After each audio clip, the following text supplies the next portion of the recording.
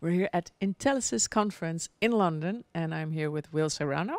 He's a Hi, char- hi, hi. He's a chartered telecom system designer, and I have a question for you right away.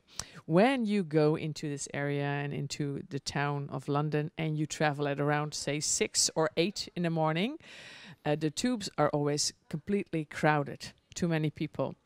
How can your work help with that problem? Well, there are uh, several reasons about uh, crowding uh, in the transport network nowadays in London. Um, we are currently working uh, expanding the capacity uh, Yeah. by Crossrail One, which it will be a brand new um, rail link between east and west of London. Uh, when the a new line. There's a new train Yeah. line. Okay, yeah. when when the uh, to optimize the Mm. existing infrastructure, Mhm. uh, artificial intelligence can increase the throughput of trains Mm-mm. by uh, reducing the distances between them, and as well, Reducing the distance between the trains. yeah, yeah. Ah, so see. to make Yeah. to make So them, make- um, yeah, more. yeah, uh, by reducing the distance, Mhm. we can increase the, th- the throughput um, of the trains, Sure. and as well, uh, artificial intelligence can guide passengers better through the station. Mhm. so we can increase as well the throughput uh, through the gate lines as Mhm. well. So there is a, uh full range of applications that artificial intelligence can help Yeah. to uh, help Londoners to commute faster to work and to enjoy as well the journey time rather than feeling overcrowded. Yes, exactly. And you also work with airlines, uh, like uh, London Heathrow Airport. Yeah, we have done some, some work with uh, some airports. Um, my previous um, job with uh, Heathrow was the optimization of their baggage system. Oh wow! so yes. um, airports they have three layers of complexity. Mhm. So railways they do have two, which it is passengers and trains. Airports they do have passengers, planes, and baggage as well. Of course. So baggage it is a whole new area as well that it can be optimized. So when we check in Mhm. and we go to the plane, Mhm. all that security screening for baggage can be optimized, yeah. and it can be as well done by artificial intelligence, which uh, will mean that less operators will be uh, required to do th- those tasks. as well. Okay. So then there will be jobs lost again. um, I see uh, artificial intelligence rather than to take jobs Mhm. uh, from humans, they will do the jobs that they will be boring to a human. Mhm. And if we manage to retrain to add skills to humans, Mhm. they can have new jobs. Yeah. So, Sure. for example, artificial there. intelligence, they need people to uh, expand to install the software as well. sure. Um, artificial intelligence need as well uh, physical infrastructure such as sensors, cabling, Mm. uh, layouts of the layouts uh, around the airports and stations as, as well. Yeah. So um, it can take some jobs, but it can open uh, by far more. Yeah. Mm-mm, I see. So, but th- you also told me before that you think that maybe even planes will fly themselves in a while. Um, I see um, artificial intelligence as, and we got we do have now a very good example, which are driverless cars. Yeah. So five years ago, perhaps we as society we were very scared of artificial intelligence. The only one was the Knight Rider.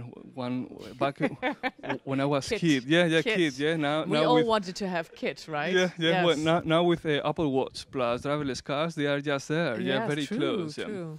Um, so um, uh, I see that uh, when we start to lose uh, and accept artificial intelligence as a, um, as a safe uh, method Mm-mm. to uh, be used in transportation, yes. uh, when we can see that driverless cars they are successful, they are more uh, optimized, Mhm. they they can free the driver's time as well.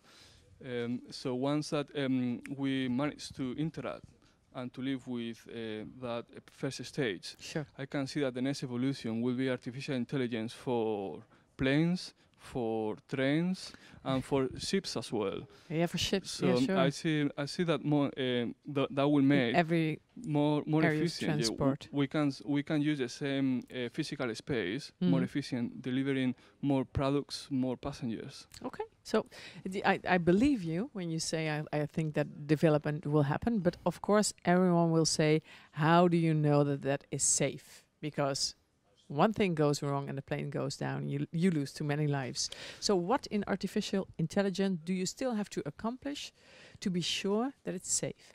Uh, there are two, two, to me personally, there Mm. are two ways Mm. to reassure uh, citizens that artificial intelligence is safe. Mhm. One, it is by gradually uh, introducing artificial intelligence into easier tasks and gradually become them complex, Mhm. such as first driverless cars, and then increase Yep. the complexity to planes. Um, as well, for people to be aware that uh, artificial intelligence it is already on planes. We do have automatic pilots Yeah, in planes. So the, uh, there's always a human being next yeah, to there is yeah. there is always a human being. But now, for example, we can say, well, can you trust in a human being as No. well? Well, no, you can't. Not always. we no. can trust in some, in some others not.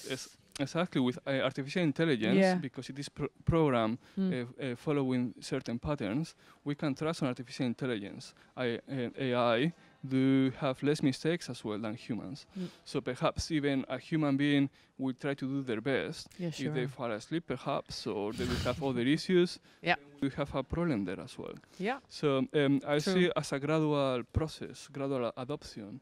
And like um, office communications or Mhm. like own communications now, True. like mobile phones Trial, and emails. Trial. So eventually, it will be gradually. Yeah, we will sure. we will incorporate more and more AI into transportation. Yes, and then transport will become easier and more efficient, and we will travel faster and more pleasantly around cities in the world. Yeah, exactly. And it will reduce as well energy. Yeah, the CO2 it- emissions will reduce because of that efficiency as Also, yeah. well. Well, good work. Okay. Keep thank us you. posted, please. Yeah. Thank you. Thank See, you. Thank you. This was Will Serrano from the uh, Intellisys conference in London about artificial intelligence and all the benefits it can have. See you.